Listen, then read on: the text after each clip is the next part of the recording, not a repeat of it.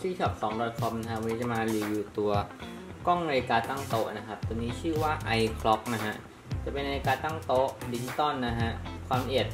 ระดับ HD นะครับ เป็น Wi-Fi นะครับ แล้วก็สามารถดูผ่านมือถือได้นะครับ ตัวนี้มาพร้อมกับส่วนของปลั๊กด้วยนะครับ ตัวนี้ฮะ ก็คือสามารถเสียบแล้วก็ทำงานได้ 24 ชั่วโมงนะฮะตัวกล้องจะมีแบตให้นะฮะ เราสามารถเปิดด้านหลังได้ให้ดูได้นะฮะ จะมีแบตแบตถ้าเกิดเราไม่เสียบปลั๊กทำงานได้ประมาณ 1 ชั่วโมงนะครับ แต่เมื่อใส่แบตแล้ว ถ้าเกิดสามารถเสียบปลั๊กต่อตรงนะฮะก็ทำงานได้ 24 ชั่วโมงนะครับเข้าดีเทนฮะ 32 gig บันทึกได้ประมาณ 3 วันนะฮะถ้าเราใส่ memory ไป 32 gig นะฮะ record ได้ถึง 3 วันนะครับ ตัวนี้เป็น Wi-Fi นะครับ แล้วก็ผ่านแอปพลิเคชันนะครับ สามารถแชร์อินเทอร์เน็ตนะฮะ แล้วก็สามารถดูออนไลน์จากนอกบ้านได้นะครับ เดี๋ยวจะ test ให้ดูนะครับว่าออนไลน์ยังไง มาดูที่ตัวอุปกรณ์ก่อนนะฮะ ก็จะมีส่วนของตัวช่องใส่ memory card ครับ memory card ไม่ได้แถมนะฮะลูกค้าซื้อเพิ่มเองนะครับ แล้วก็จะมีช่องเอ่อ reset อยู่ตรงนี้นะฮะอันนี้เป็นสวิตช์เปิดปิดนะครับ ถ้าเกิดผลักไปทางซ้ายเป็นการเปิดนะครับ ขวาคือปิดนะครับ แล้วก็จะมีส่วนของช่องเสียบส่วนของสายชาร์จ แล้วทำให้ทำงานได้ 24 ชั่วโมงด้วยนะครับ ด้านหน้าจะเป็นเหมือนเอ่อดิจิตอลนาฬิกานะครับแล้วก็จะมีหน้าเลนส์อยู่ตรงนี้นะฮะตัวนี้ ไม่มันมีอินฟราเรดแต่ผมไม่แนะนำให้ใช้นะครับที่ test ค่อนข้างมืดมากนะฮะความละเอียดกล้องเป็น HD นะฮะ 720p นะครับ ในการเรคคอร์ด แล้วตัวนี้เหมาะกับส่วนของ ถ้าเกิดใครต้องการราคาไม่แพงมากนะฮะ แล้วสเปคธรรมดา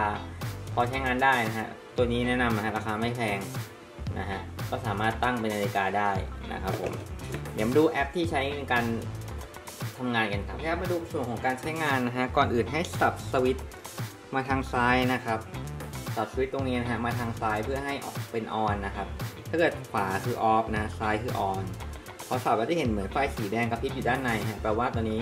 ตัวกล้องเริ่มเปิดทำงานแล้วนะฮะพร้อมกับส่วนของตัวนาฬิกานะครับ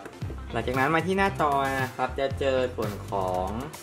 ตัว Wi-Fi ที่ตัวกล้องปล่อยออกมานะฮะจะขึ้นต้นด้วย G นะครับ ตัวนี้คลิกเข้าไปนะครับ จะไม่มี password นะครับ คลิกเข้าไปได้เลยนะฮะ หลังจากนั้นให้โหลดแอปชื่อว่า Look Look Cam นะครับ จะเป็นตัวเนี่ยฮะ เนี่ยฮะเป็นตัวนี้เลย เนี่ยฮะ หลังจากนั้นให้กดเข้าไปนะครับปึ๊บ อันนี้ผมเคย add ไว้แล้วนะครับผมจะลองลบเขาออกนะฮะ แล้วผมจะลองปิดแอปแล้วเข้าใหม่นะครับ เพื่อให้เพื่อนๆได้เห็นตอนแรกในการ add กล้องเลย มันจะถามว่าจะแอด Wi-Fi Network เลยไหม ผมจะตอบ cancel ก่อนนะฮะ แล้วมันก็จะ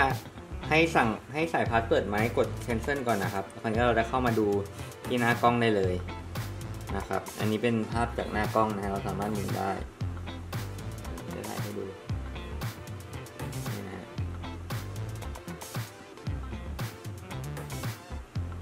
เราสามารถถ่ายได้นะครับตัวนี้ภาพก็ ประมาณนี้นะฮะ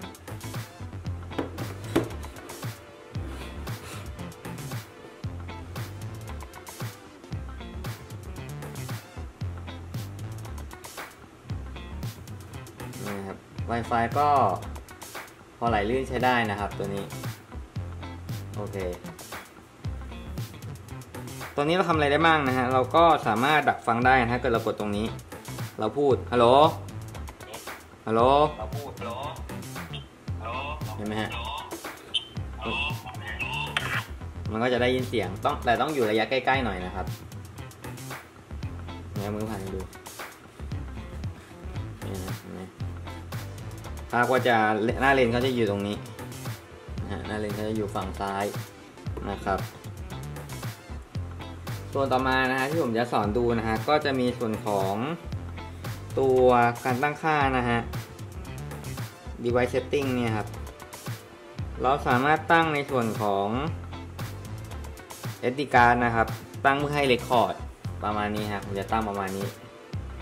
ไฟล์ละ 1 นาทีนะครับ ตอนนี้มันผมใส่ไป8 g b นะฮะ ผม record ได้ประมาณ 1 วันนะครับถ้า32 g ก็ประมาณ 3 วันนะครับ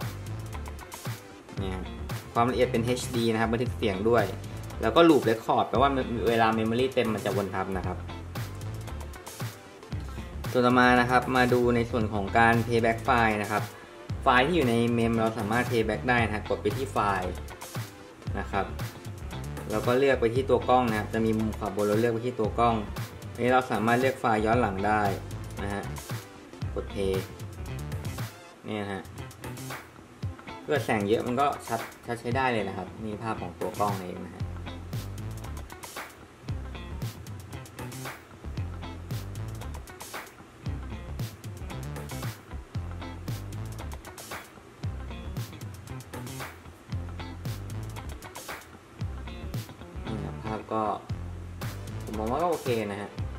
เพื่อแสงเยอะๆชัดเลยนะครับ สามารถ playback จากตัวกล้องมาที่มือถือเราฮะ อันนี้ก็จะเจอไฟล์ต่างๆ เราสามารถดูได้เลยนะครับ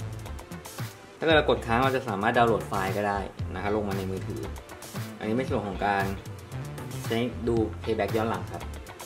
ส่วนต่อมาเป็นส่วนของการดูออนไลน์นะครับ เราสามารถกดให้กล้อง ต้องอยู่กล้องต้องอยู่ใกล้กับตัวเราเตอร์บ้านเรานะฮะเราเราเราจะตั้งให้มันดูออนไลน์ได้นะฮะเข้าไปที่ device setting นะครับ แล้วก็มาในส่วนของตัว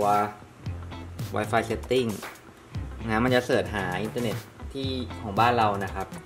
อันนี้ก็เลือกเข้าไปตรงนี้นะฮะแล้วก็ใส่ password ของบ้านเรา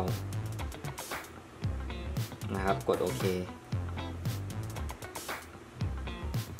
เดี๋ยวรอตัวอุปกรณ์รีบูตสักพักหนึ่งฮะ เดี๋ยวมาดูกันฮะว่าเราสามารถดูออนไลน์ได้ไหมจะเทสให้จะจะเห็นเห็นเลยนะครับว่าตัวกล้องออนไลน์ได้ สังเกตว่ามือถือผมตอนนี้เป็น 4G นะครับ ซึ่งไม่ต่อกับเราเตอร์เลยนะฮะ แล้วผมกลับมาในแอปนะครับลูกแคมนะฮะปึ๊บ สังเกตที่ตัวกล้องนะฮะ มันขึ้นคำว่า device online นะฮะผมเดี๋ยวไปฮะเนี่ย device online ผมคลิกเข้าไปปึ๊บนะฮะ ผมสามารถดูออนไลน์จาก 4G ได้นะครับ จากหน้ากล้องเห็นไหมฮะ นี่คือหน้ากล้อง ซึ่งถือว่าลื่นไหลมากนะฮะ นี่นะฮะ ผมสามารถขยับกล้อง เดี๋ยวนะฮะซูมออกก่อนสังเกตนะฮะ ผมสามารถให้เพื่อนๆดูได้เลยว่าตัวกล้องมันสามารถออนไลน์ได้นะครับ แต่ส่วนของความ การดูออนไลน์อะมันก็ขึ้นอยู่กับอินเทอร์เน็ตเราด้วยนะครับ ว่ามันจะเร็วหรือเสถียรมันก็อยู่ที่อินเทอร์เน็ตอยู่ที่ระยะการวางกล้อง ว่าอยู่ใกล้กับตัวรับสัญญาณไกลขนาดไหนนะฮะเพราะว่าเสาสัญญาณกล้องมันอยู่ในตัว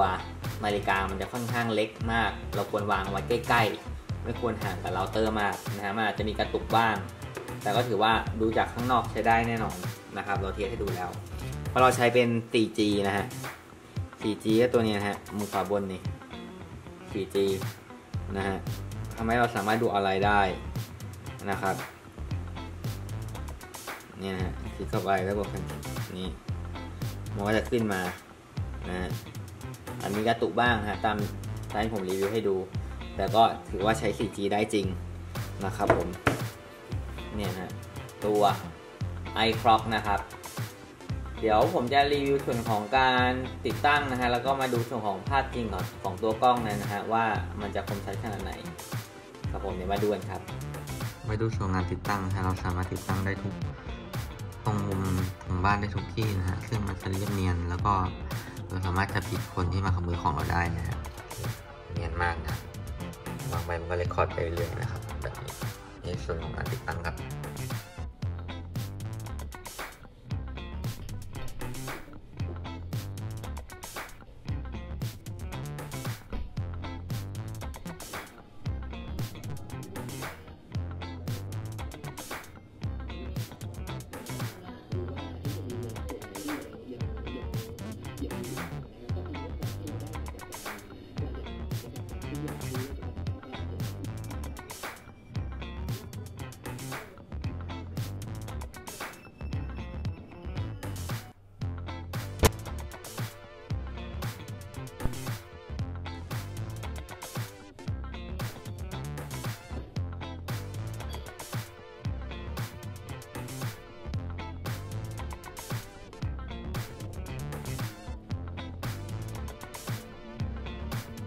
เคฮะจบไปแล้วฮะสำหรับการรีวิวส่วนของกล้องนาฬิกาตั้งโต๊ะ iClock นะครับ